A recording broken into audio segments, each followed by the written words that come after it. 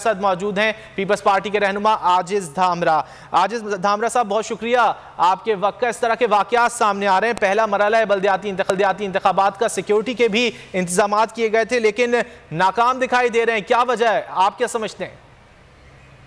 देखिए जी, जहाँ पर मैं मौजूद हूँ, वहाँ पर फ़िलहाल तो लाइन ऑर्डर की सूरत हाल अब डेफिनेटली जब पोलिंग डे होता है इलेक्शन होती है तो मुख्तलिफ़ पार्टी के जो कारकुनान होते हैं सपोर्टर होते हैं उनकी आपस में जब कलिश चलती रहती है और मैं सांगर डिस्ट्रिक्ट में भी मौजूद हूँ यूसी दामरा में मौजूद हूँ।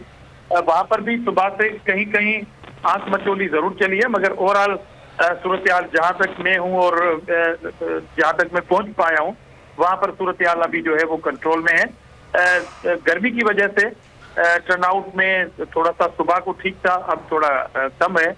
आगे देखते हैं अभी आजिज दामरा साहब जो पाकिस्तान तहरीक इंसाफ है इसके अलावा जमीयत इस्लाम है उनकी जानब से इल्ज़ाम लगाया जा रहा है कि पीपल्स पार्टी की जानब से जो है वो जो है वो पोलिंग को मुतासर करने के लिए जो इकदाम किए जा रहे हैं हवाई फायरिंग की गई है कई अफराज जख्मी भी हुए हैं आपकी पार्टी के भी उसमें कई कारकुनान जो है वो जख्मी हैं।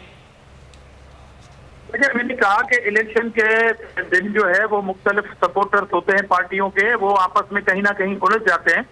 जहाँ तक पीटीआई के इल्ज़ाम का ताल्लुक है तो वो तो है इल्ज़ाम पार्टी।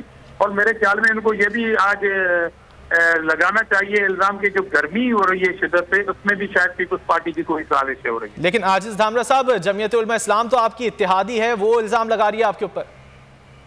देखिए मैंने कहा कि जब मुख्तलिफ़ पार्टियाँ ग्राउंड पे इलेक्शन लड़ती हैं तो वो ये नहीं देखती कि कौन इतिहादी है कौन इतिहादी नहीं है। अगर दो आपस में भाई भी इलेक्शन लड़ते हैं काउंसलर किसी वार्ड में दोनों भाइयों के सपोर्टर आपस में लड़ पड़ते हैं।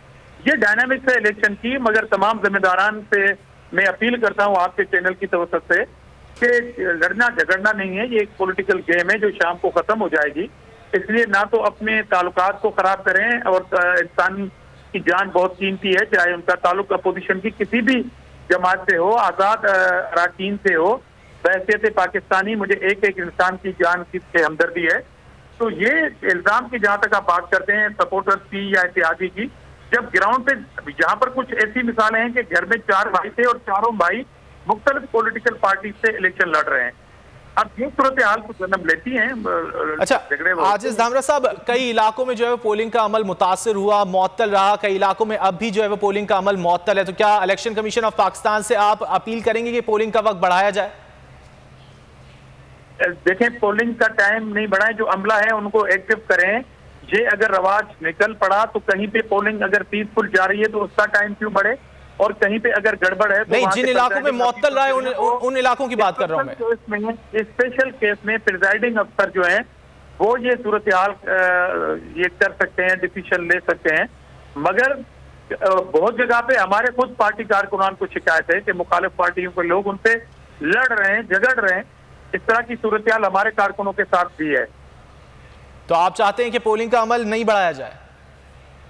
देखिए मैंने कहा कि पूरे चार डिवीज़न में ये इलेक्शन हो रहा है कहीं कहीं पर पोलिंग अगर ठीक जा रही है सबूत जा रही है और जो जितने उम्मीदवार हैं एक दूसरे से ताउन कर रहे हैं तो उनके उनका अलग केस है। जहाँ पर अगर किसी भी सूरत हाल में पोलिंग लेट से शुरू हुई है और वो दोनों या तीनों उम्मीदवार इस बात से मुतफिक हैं कि पोलिंग की का टाइम बढ़ा दिया जाए मगर उसके लिए इतफाक राय ज़रूरी होना चाहिए और ये ग्राउंड पे प्रिजाइडिंग अफसर का काम है कि वो अपनी स्पेशल सूरत हाल को देख के अगर कोई कहीं ऐसा वाक्य हुआ है तो वो फैसला कर ठीक है ठीक है इतफाक राय से बढ़ाया जाए अगर पोलिंग का वक्त बढ़ाना है इलेक्शन कमीशन ऑफ़ पाकिस्तान ने बहुत शुक्रिया।